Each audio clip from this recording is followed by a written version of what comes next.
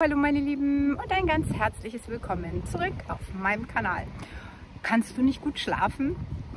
Ich hoffe doch, aber wenn nicht und wenn es dir so geht wie mir, viele, viele Jahre, dann möchte ich dich bitten, dran zu bleiben, denn ich habe den ultimativen Tipp für dich und bitte dich, das unbedingt einmal auszuprobieren. Und äh, wenn es dir geholfen hat, schreib mir das auch gerne in die Kommentare, dann wissen die anderen Zuschauer Bescheid, ob sie das einmal ausprobieren wollen. Ich wünsche dir ganz viel Spaß bei diesem Video, würde mich natürlich über ein kostenloses Abo meines Kanals freuen und wünsche dir jetzt ganz viel Spaß. Nicht schlafen können ist, glaube ich, eins der Volkskrankheiten Nummer eins. Ganz viele Menschen haben Schlafprobleme und noch viel mehr Menschen haben sogar Einschlafprobleme. Und ähm, ich würde sagen, dass es auch eins der größten Volkskrankheiten ist, die existieren, weil sie so viele Erscheinungen mit sich bringen, die als Folge daraus resultieren. Schlechte Laune, schlechte Lernfähigkeit, schlechtere Konzentration, schlechteres Allgemeinbefinden. Wir fühlen uns müde, ausgelaugt, kaputt. Wir bekommen Krankheiten, von denen wir nichts ahnen würden. Und deswegen ist ein guter Schlaf so unheimlich wichtig für uns. Es ist sehr windig hier, aber wenn ich jetzt hier mein Bett aufschlagen könnte auf dem Feld, ich glaube, ich würde schlafen wie ein Baby, weil das ist genau das, worüber ich mit euch reden möchte. Frische Luft. Frische Luft hat mir wirklich sehr dabei geholfen, meine Schlafprobleme zumindest in den Griff zu bekommen, wenn nicht sogar zu lösen. Und deswegen möchte ich ein extra Video dazu machen, möchte euch mit darüber, äh, möchte euch beratschlagen, wie man das Ganze anstellen kann. Natürlich können wir unser Bett nicht in freier Feld- und Wiesenbahnen aufschlagen. Und das wäre schön, wenn wir das machen könnten. Und in der Türkei, wo ich mich äh, viele Jahre aufgehalten habe, da wurde das tatsächlich öfters gemacht, dass im Sommer ähm, auf den großen Terrassen dort die Betten hingelegt wurden und dann äh, familiär sozusagen auf dem Dorf äh, geschlafen wurde, draußen in freier Natur. Das hat sehr gut getan, es war sehr befreiend und ähm, das kann ich wirklich nur empfehlen, einmal nachzumachen. Jedoch äh, für uns normale Menschen müssen wir da nach Alternativen suchen und ich plädiere dafür. Einmal, bevor wir uns ins Bett legen, macht Stoßlüften, ja, macht das Fenster richtig weit auf, nicht nur ähm, auf Kipp, sondern ganz auf und möglichst auch mit ein bisschen Durchzug, damit da auch ähm, der Luftaustausch relativ zügig und garantiert zuverlässig stattfinden kann. Denn Sauerstoff ist eines der wichtigsten Dinge, die wir zu uns nehmen müssen im Laufe des Schlafes, weil sonst schlafen wir eben schlecht. Wir bekommen Kopfschmerzen, wir äh, können einfach gar nicht richtig in die Tiefschlafphasen finden und sind diesbezüglich dann am nächsten Morgen wie gerädert. Wir sind schlecht drauf, wir fühlen uns nicht gut, können schlechter arbeiten, können uns nicht konzentrieren und haben auf jeden Fall auch ein schlechteres gesundheitliches ähm, Dasein. Deswegen ist gesunder Schlaf sehr wichtig und dazu gehört einfach frische Luft.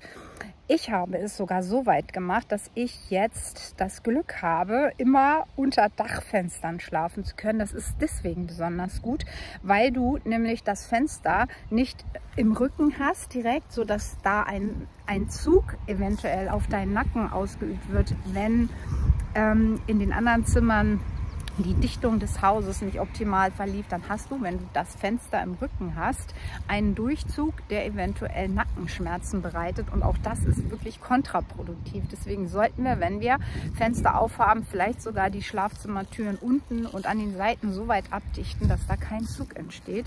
Denn ähm, es ist wichtig, dass wir direkt am Fenster schlafen, unter der frischen Luft. Und optimalerweise ist das so, dass wir unterm Dach schlafen, dass wir direkt das Dach Dachfenster unter uns, äh, äh, über uns haben, dass wir direkt unter dem Dachfenster schlafen, weil dann kommt der Luftzug von oben auf direkt in unsere Atemorgane. Und wir haben die frische Luft quasi, ohne dass sie uns in irgendeiner Art und Weise ähm, belästigt oder äh, äh, noch weiter erkranken lässt durch Zug oder ähnliches, haben wir sie direkt von oben in unsere Atmungsorgane und das ist optimal. Ja? Also wenn ich die Möglichkeit habe, unter einem Dachfenster zu schlafen, dann mache ich das. Ich mache es natürlich nicht ganz auf, damit die nass wird, wenn es regnet. Was natürlich trotzdem passieren kann, da muss man ein bisschen aufpassen, muss das Wetter ein bisschen beobachten, ein bisschen leicht kippen, je nachdem wie das Wetter ist. Ähm, außerdem würde ich dazu raten, äh, dass man es nur dann macht oder mit den gewissen äh, mit Vorsichtsmaßnahmen betreibt, wenn man sich nachts aufmacht. Das Schlimme ist ja bei vielen Menschen, dass sie nachts schwitzen, weil ähm, sie einfach von der Körperstruktur so aufgebaut sind oder weil sie schlechte Bettwäsche haben, die ähm, mit Kunstfaser besetzt ist, dass sie stark schwitzen. Und der Mensch strampelt sich dann auf. Also ich bin zum Glück ein Mensch, der selbst wenn ich doll schwitzen muss, mich nicht aufmache oder aufstrampel, sondern ich bin immer zu und wenn ich mich aufmache, weiß ich, dass ich auf bin und das ist sofort auch unangenehm. Also alle meine wichtigen Körperregionen, also hier der Nackenbereich, mein mein Rücken, mein Bauch, meine Beine sind immer mit einer Decke bedeckt. Auch im Hochsommer, auch wenn es richtig warm ist. Und selbst wenn ich schwitze, muss ich eine Decke um meine äh, wichtigen Organe um mich herum haben und wickel ich mich da drum. Ich wechsle dann die dicken Winterbettdecken mit den dünneren aus, sodass ich da keine Gefahr laufe, dass ich ähm, zu sehr schwitze.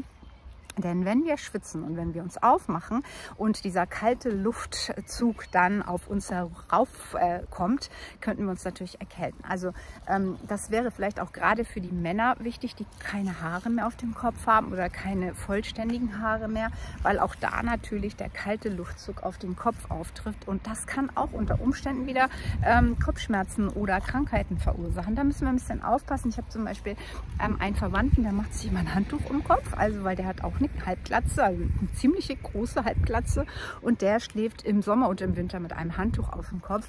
Ähm, das finde ich zum Beispiel eine gute Idee. Da gibt es sicherlich auch professionellere äh, Bekleidungsmöglichkeiten für den Kopf. Äh, muss ja jetzt keine Mütze sein, aber etwas ähnliches gibt es bestimmt für Männer, die nachts etwas auf dem Kopf haben wollen. Man könnte ja auch so ein leichtes Tuch oder so, könnte ich mir vorstellen. Ähm, da muss man natürlich darauf achten. Also bitte, gewisse Vorsichtsmaßnahmen sind wichtig, aber eine frische Luft direkt einatmen äh, während der Nacht, so dass sie mich nicht gefährdet, sprich, dass ich sie nicht im Rücken oder im Nacken habe, ist sehr, sehr angenehm, ja, weil du direkt die Dach, die Luft vom, vom, von dem Dachfenster einatmen kannst. Frisch, sauber, sie riecht gut. Gerade jetzt, wo der Frühling beginnt, ähm, ideal. Ja, Im Sommer sowieso ist es schön, wenn man ein Fenster auf hat, aber auch im Frühling und im Herbst finde ich das sehr angenehm, weil da noch so ein bisschen eine Kühle mit reinspielt und eine Frische, die doch noch mal sehr viel anders ist als im Hochsommer. Im Winter muss ich mal gucken, da werde ich euch dann noch mal ein neues Video zu machen, wie das im Winter ist, weil da ist natürlich schon ganz schön kalt. Ähm, ich habe früher sowieso immer mit offenem Fenster geschlafen, habe mir das abgewöhnt, seit mein äh, letztes Kind ungefähr äh, fünf, sechs Jahre alt war und ich ständig krank war. Haben wir irgendwann gesagt, wir machen das Fenster zu. Er hat nämlich immer in unserem Zimmer geschlafen, aufgrund seiner ständigen äh, Krankheitszustände. Und ähm, da haben wir dann gesagt, nee, machen wir zu. Ich kann noch mal so ein bisschen aus dem Erfahrungsschatz plaudern. Ich hatte ja sehr sehr viele Kinder, die äh, oft sehr krank waren, auch im Bereich der Atemwege. Und ich hatte auch ein Kind, das hatte Pseudokrupp. Und da hat mein Arzt auch immer gesagt, der Kinderarzt, lassen Sie die Kinder mit offenem Fenster schlafen. Das macht nichts, das ist nicht schlimm.